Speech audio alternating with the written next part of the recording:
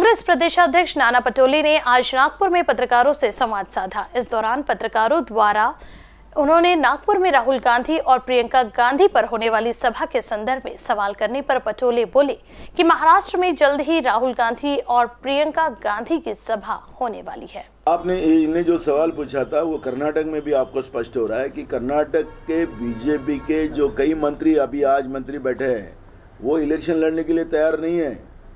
क्या हालत है वहाँ पे बीजेपी की? बीजेपी के लोग कांग्रेस में आने को देख रहे कई लोगों ने अपना चालू हो गए मूवमेंट उनकी। तो ये हालत उनकी है, जहाँ पे उनकी सत्ता थी कर्नाटक में, जो चोर के लेके गए थे, डाका डाल के लेके गए थे, जिसमें कांग्रेस को मैंडेट दिया था कर्नाटक में। तो इन लोगों ने वो सरकार को गिराकर बीजेपी की सरकार बनाई। लोगों में भयानक गुस्सा है। और पूरी जमात जब्त होने वाली है वहाँ पर बीजेपी की कर्नाटक में। और वो कर्नाटक के हाल ही के मंत्री वहाँ चुनाव लड़ने के लिए तैयार नहीं, यह हालत है। और इसलिए मोदी जी को बयान बदलने के लिए बोलिए। तो राहुल जी और प्रियंका जी की सभा होगी तो आपको बड़े संख्या में लोग सभा में आए हुए दिखेंगे। हमें कोई किसी को पैसे दे के लाने की ज़रूरत नहीं है। बीजेपी को आज पैसे दे के लोगों को लाना पड़ता है। कांग्रेस को लाने की ज़रूरत नहीं पड़ेगी।